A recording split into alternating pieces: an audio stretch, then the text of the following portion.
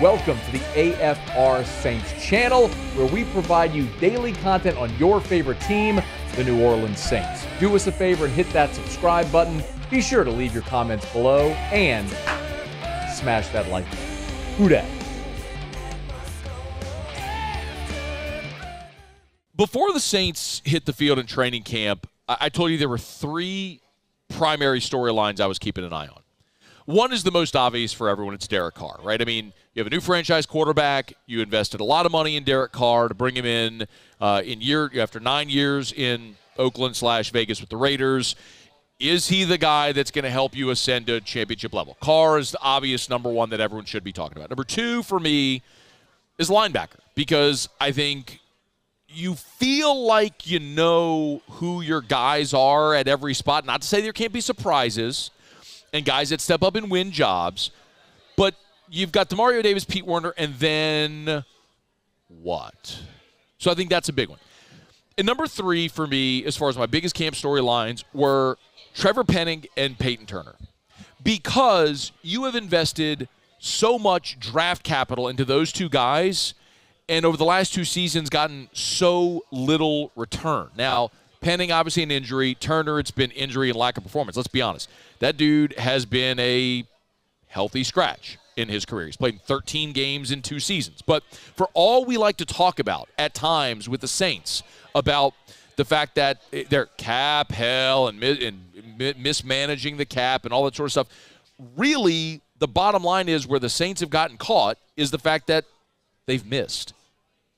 They've missed in the top of the draft. There's no other way to say it when you go back to 2017 and you draft Lattimore and Ramczyk and Marcus Williams and Alvin Kamara and Alex Anzalone and Trey Hendrickson and Al-Quadin Muhammad, who's still in the league, by the way. Like, you drafted a whole bunch of starters. But when you go into 2020 and you draft a Cesar Ruiz, Zack Baun, Adam Trautman, Tommy Stevens, you whiffed on that draft. And you go to 2021 and you took Payton Turner in round one. That's a whiff so far. Now you had Pete Werner, who's played, and Paulson Adebo, but the rest of that draft was Ian Book, Landon Young, and Kawaan Baker. You know, then last year you took Olave, who's a hit, Penning, Alontae Taylor, D'Marco Jackson, and Jordan Jackson. Now, D'Marco Jackson, Jordan Jackson, you've got nothing, and Alontae Taylor has been awesome, but Penning was a first round pick, and you need him to be a starter. So, more than anything, you need these guys that you invested that draft capital in to be starting players for you and for your organization. So keeping an eye on those two guys in this camp, I, I, think is just it's massive to make sure they stay healthy and they're ready to win jobs. You need Trevor Penning to win the left tackle job. You need Payton Turner to win the starting right end job opposite Cam Jordan. You need those two things to happen coming out of camp. And today, Dennis Allen gave us sort of mixed reviews on both those guys. First, it was not great news for Trevor Penning, uh, if you would. Here was Dennis Allen after practice today. I thought another good practice. You know, we uh, had a few guys that were didn't finish practice today. Uh, Khalen Saunders with an illness. Shaq Davis and Keith Kirkwood just a little heat related. Trevor Penning missed today with a foot injury. Stay today. I expect he'll be out here tomorrow or the next day, but we'll see uh, where he's at tomorrow. But overall, I, I think still pretty good health. The guys are competing out there. I thought it was a spirited practice today, so I thought it was a step step forward from yesterday. Tomorrow will be much the same. Uh, a little bit longer practice tomorrow. Put on some shells, uh, but we're still not in pads yet, so that's where we're at. Okay, so if you missed it there in Dennis Allen said Trevor Penning missed practice today with a foot injury. One quick follow-up news from Dennis Allen on um, on the injury. It's not related to the previous surgery. Um, really minor. Uh, probably more of a precaution to keep him out today. Okay. I'm not going to overreact because it's the second day of camp and the coach is telling you it's minor, probably more of a precaution. I get it. That's great. But, and also, veterans miss camp. Vet, like, there are every training camp in the NFL, there are veteran players who have a, they go out there, they stretch, and then, oh, they have a, a hamstring or a neck or a knee or whatever they need to say just to say they're getting a day off, which is fine. Like veterans get days off. It's fine. Our guy Mike D always says practices for the unskilled. Veterans get days off in camp. I'm cool with it. The problem is Trevor Penning ain't a veteran. He's a second year player who only played six games as a rookie because he had two different foot injuries. He had turf toe that he suffered, suffered in the preseason, comes back, plays in six games, then misses the rest of the season with a list Lisfranc on the other foot. So you have a big 320 pound plus dude who's a monster, by the way, when he's healthy, but hasn't been healthy. So yeah, I'm going to be a little more concerned about it. I want to remind you do you remember the storylines with Trevor Penning in last year's training camp when he was a rookie? Do you remember? It caused me to go on on a really fun rant, a good rant.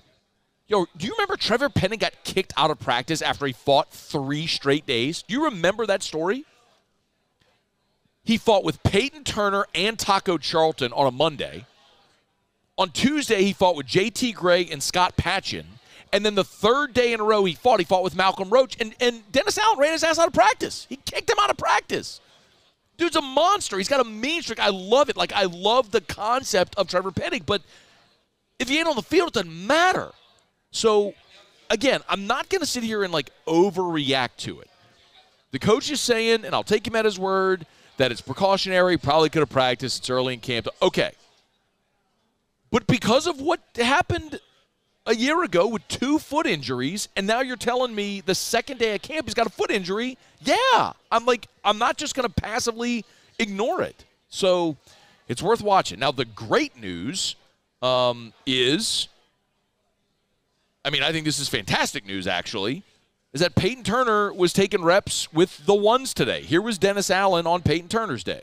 I think it's a combination of something that he's earned and we're looking to see who's going to be that guy that's going to line up on the other side of Cam Jordan. You know, and somebody's got to not be given that role. Somebody's got to take that role. And and uh, look, he's earned the right to get those reps, and now it's what, what do you do with him?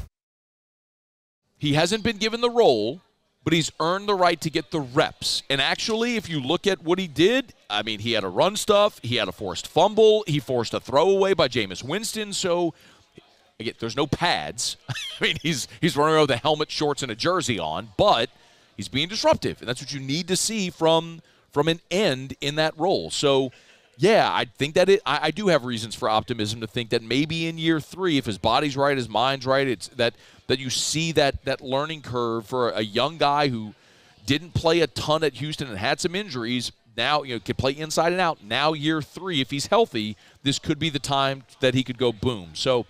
Um, I'm, I'm optimistic about Payton Turner. More so, I'm happy to see because, like, of the two, if you ask me at the start of this camp, who's more likely to win the job? Trevor Penning at left tackle or Payton Turner at right end? I would have told you Trevor Penning. Uh, he's just a he, he's a beast. I, I, think he could win the left tackle job over Hurst.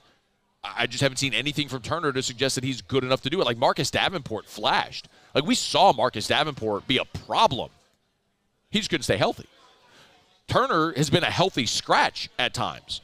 So if Turner is physically coming along, that's fantastic news. Um, so the two rookies, remember as we started, I told you there were there were three things in camp. It was Carr, the linebackers, the two rookies. Well, that's the two rookies. The other thing that's really good about Carr is you continue to hear all of the veteran players vouch for him. Like here was Ryan Ramczyk after practice on Thursday talking about Carr's command of the huddle. You know, he came in here and I think he's going to be a great leader. Um, he's got great leadership skills, um, great command of the huddle. Um, he's got kind of a calm, cool, collected, confident um, swagger to him. Um, you know, so I'm excited. I know we're all excited to get the ball rolling here.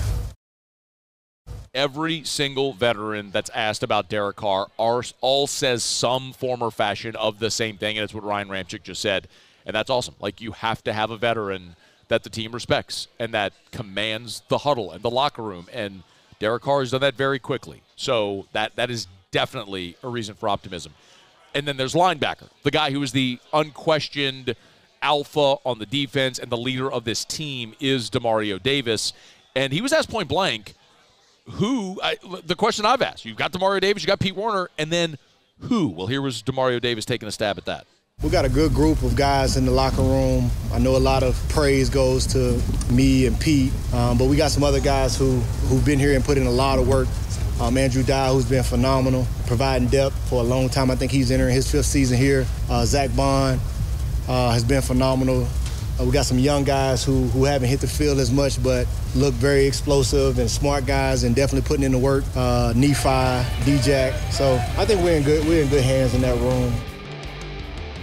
Got to go prove it. But if the man of God says it, um, I'll fall in line. I'll follow that dude anyway. Hey, thanks so much for watching. Please leave your comments. I love to interact, and be sure to hit the red subscribe button below.